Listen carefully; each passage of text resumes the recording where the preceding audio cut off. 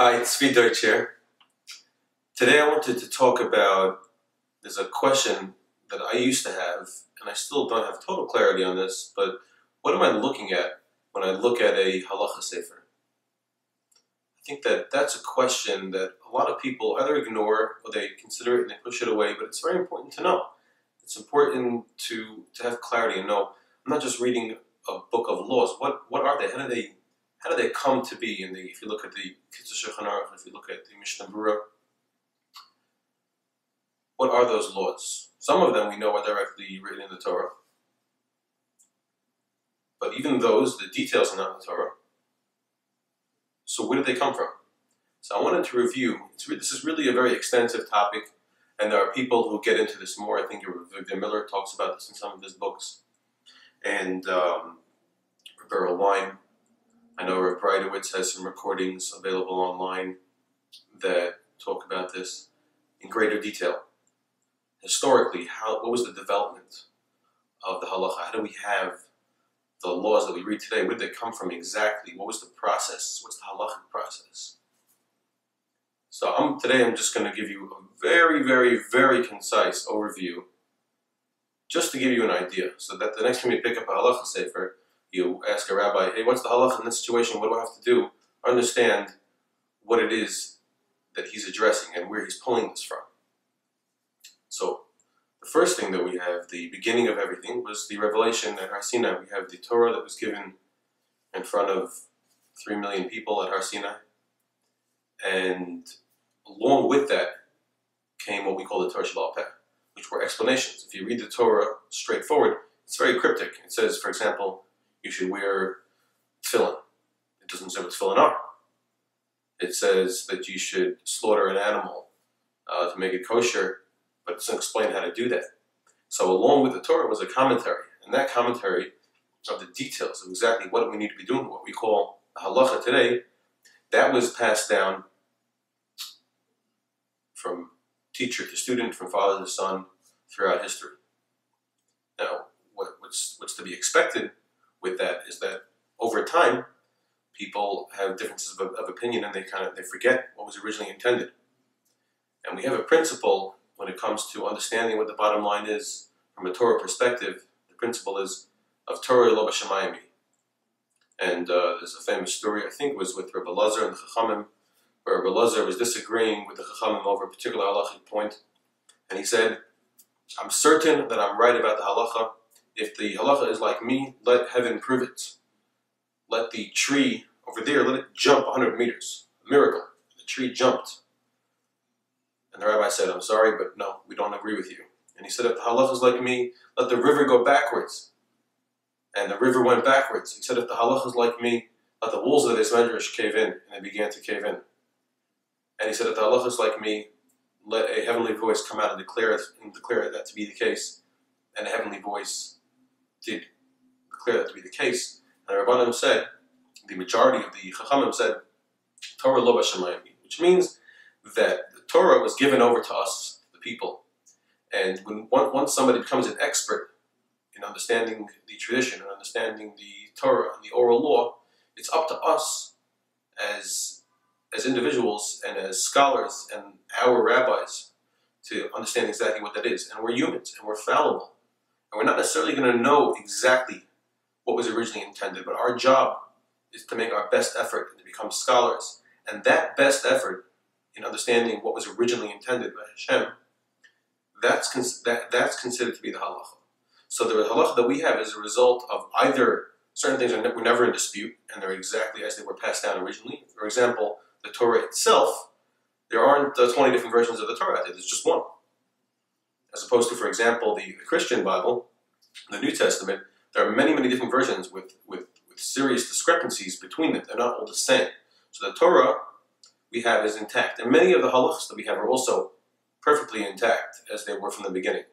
But there were detailed, there were certain, there were differences of opinion about certain things because that's what happens when it gets passed over from word of mouth. And when this began to be to get to be a, a bigger issue, Rabbi Yehuda HaNasi put together the Mishnayos. The Mishnayos is, is, is giving you the halachic bottom lines of What do we need to do in any particular situation? And that's what the Mishnah does. But the Mishnah was deliberately written in a very cryptic manner. And the reason for that is because the Torah Sheba'al Peh was always intended to be in the hands of the people, to be passed down from student, from teacher to student, from father to son. And in order to maintain that, Rabbi Yehuda Nasi did not want to put it down in, in all its detail. So he put it down, but in a very cryptic way, in a way that in order to really understand what it's saying, you still need a teacher. And that was the Mishnah. And as the generations went on, um, the the Amoraim, and particularly Ravina and Rav Ashi, the times of the Gemara and the second Beis Hamikdash, they under, they understood that the the generations were getting weaker in their ability to remember everything and remember everything that, that all the all the halachas, and they put down the Gemara. The Gemara examines the Mishnah and writes down and goes into much greater detail what the Mishnah deliberately did not do to explain exactly what the halachas are and what we need to do in any particular situation that comes up.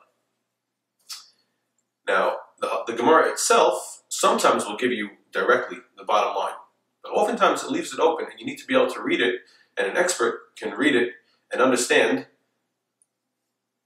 what the halacha is, because you can have multiple opinions in the Gemara who hold this is what was originally intended from by the Torah, and the another opinion that may hold this is what was originally intended.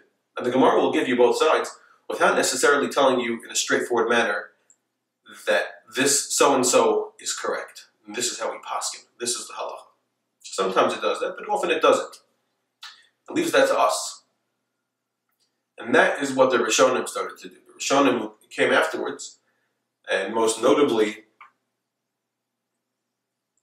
the the Rif, the Rambam, and the Torah who drew the halacha out of the Gemara. And They use a they use a, a logical approach to understanding this, and there diff- there's more than one way to reach the bottom line. One of them, if there's a difference of opinion, and this, this is a commonly used approach, is to count up. You have one guy has an opinion, and he defends his opinion. One of the uh, Amoraim of the Gemara will defend his opinion using a number of proofs, and he'll ask questions on the other guy to discredit the other opinion. And the other opinion will do the same. And we can count up and see who has more proofs or less questions on them. And so that's, that's one of the ways of deciding what the halach is. It's not the only way, but that's just to give you an example of how it was done. Now, following that came the Shulchan Aruch. The Shulchan Aruch was Rabbi Yosef Karo, and he did what the Rambam, the Rif, and the Torah did not do, is he did it in a very he, he put together a very concise halacha sefer that leaves out a lot of explanation and just tells you in a very straightforward manner. It was intended to be a daily guide, and the way that he came, the way that he drew his opinions for the most part, in terms of when he tells you this is the halacha, this is it. What do you mean this is it? There's differences, differences of opinion in the Gemara. There's differences of opinion among the Rishonim. So what he did was he looked at what he considered to be the three leading Rishonim. Um, I believe that was the uh, the Rosh, I believe the Rif, and the Rambam. I think those three, and he would take the majority opinion out of those three in order to give you the bottom line, so you know what you need to do from day to day. Now, at the same, at around the same time that the Shulchan Aruch was writing his concise halacha sefer, the Ramah, who was uh, Moshe Isserles, and he was an Ashkenazi rabbi, he was also writing one. And I heard from my Rebbe, very interesting, that he found he had spent years, the Ramah had spent years putting together his concise halacha sefer, and then he found out the Shulchan Aruch was doing the same thing. And instead of putting out a competing sefer, he reworked his material to be just a commentary on the Shulchan Aruch, which, which tells you a lot about his character. You know, he was a guy who who uh, he could have he, put in a tremendous amount of work. He did exactly the Shulchan Aruch. He had a crazy, crazy amount of knowledge. He went through all of the Gemara, all of the Rishonim, the Achronim, hundreds of commentaries and he drew the bottom line of the halacha out of, out of these, and he put it together in an organized fashion for someone to have a day-to-day guide on how to be a, hal- a halachic Jew, how to live correctly. And he, he could have put it as his own sefer. Instead, he said, no, the Shulchan Aruch was already doing this. Um, I don't need to have the, the honor, so to speak, of having my own sefer. I'll just comment on his. I'll be a commentary on his.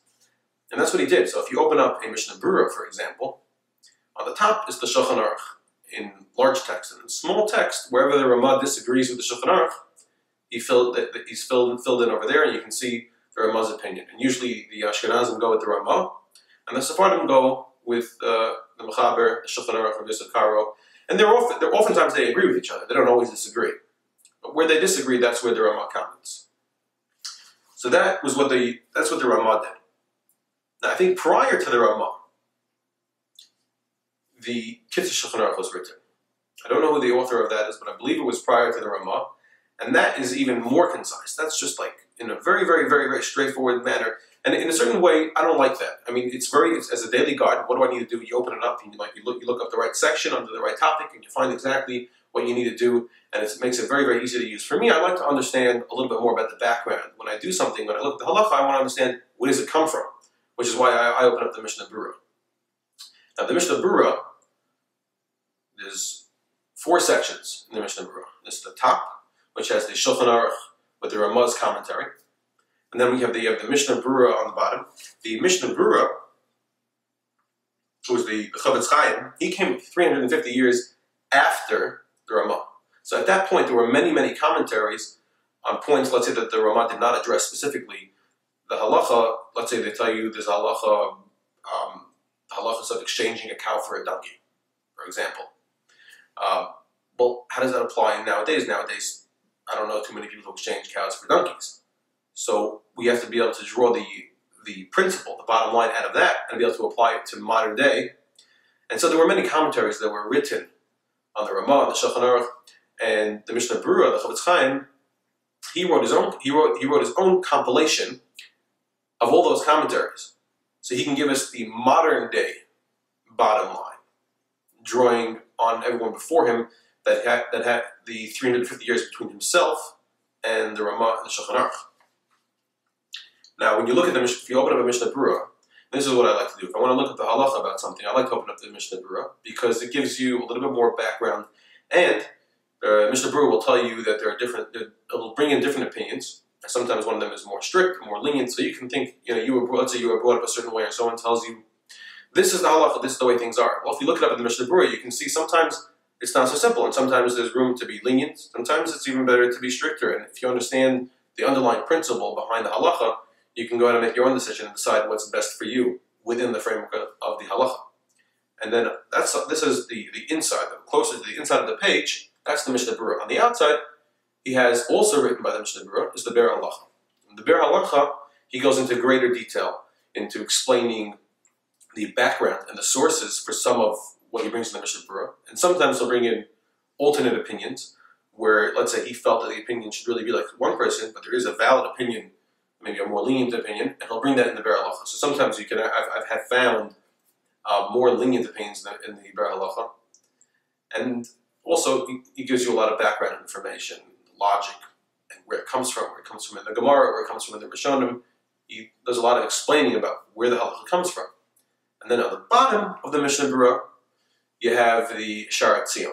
The Shaar HaTziyun is just a, um, I forgot what it's called supposed to know English, but it's it just tells you uh, where he got different opinions from. So when he tells you the Mishnah Berurah, he says, in this situation, the Allah is like this, and in this situation, it's like this. There's a little letter next to it, and you look at the HaTziyun, and, and you can see where it, comes, where it comes from. If he brings it from the Rambam, where he brings it from the Torah, from the, uh, the Kesef Mishnah, so he brings it from other people, and you can source it back. And like this, if you really want to, if you're interested in understanding the halacha in a particular situation and exactly how the halacha got to be the way it is, you can look at the you can look at the Mishnah Berurah, and then you can go to the Shaar HaTziyun, and you can trace it back. You can trace it back to the Rambam, and you can see where the Rambam got it from. You can trace it back to the Gemara, and uh, and eventually to to the halacha to the rabbinic uh, takana or the biblical commandment that it originally stemmed from. So that's a very nice thing to be able to do sometimes.